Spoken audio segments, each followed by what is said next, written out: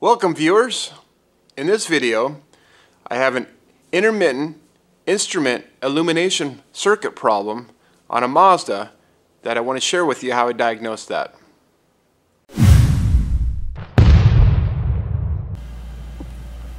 Have an 05 Mazda 3.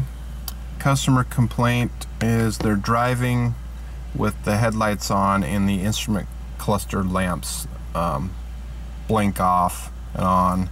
And sometimes they just go off and they tap on the dash and then they come back on. So I'm checking this out.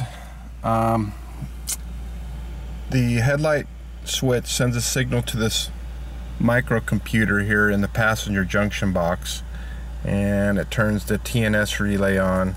And it sends power over here to the uh, microcomputer inside the instrument cluster and then and everything else that wants to turn on like the cigarette lighter gear selector lever hazard warning switch all that. So I'm tapped in here.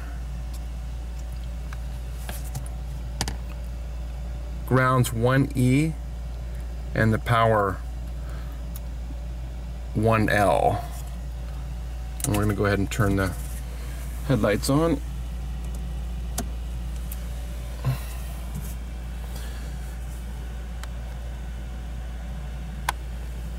we don't have anything.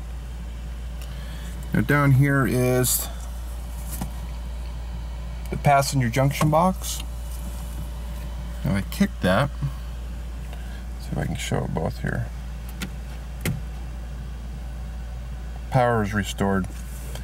It has the, what is it called? The TNS relay that's integrated into the passenger junction box and that is bad. Let me turn the headlights back off again and back on. Let's go ahead and kick the I kick that panel there. Power's restored.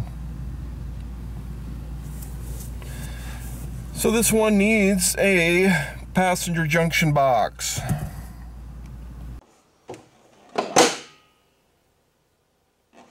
If you like this video, give me a thumbs up. Subscribe if you want to see more like it, and make sure you ring the bell so you don't miss my new ones. Thanks for watching.